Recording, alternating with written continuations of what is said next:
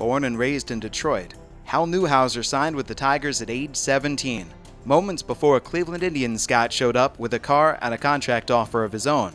Kept out of military service by a heart murmur, the fiery left-hander became one of the dominant pitchers of his era.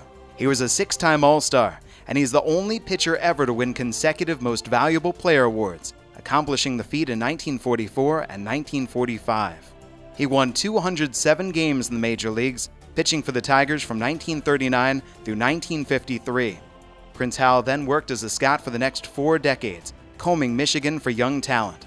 He was the first Detroit born Tiger to be enshrined in the Hall of Fame, inducted in 1992.